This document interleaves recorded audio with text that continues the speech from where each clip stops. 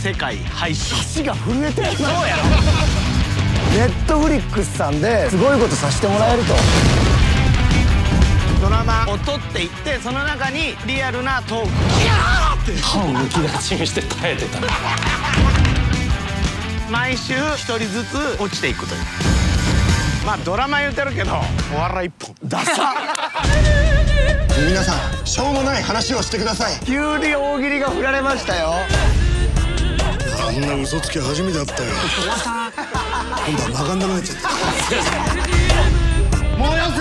おい何しとんね。んまさか。あの大悟とかいうやつのせいで騒ぎが大きくなった。始まったな。さらに大勢の人の命が失われることになる。この世界を変えてください。確かに世の中面白くねえことばっかりだ。だからこそせめてバカみたいに笑って過ごそうぜ。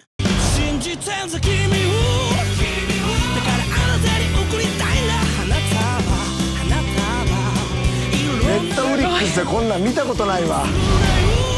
どうやらもう一騒ぎありそうだぜ。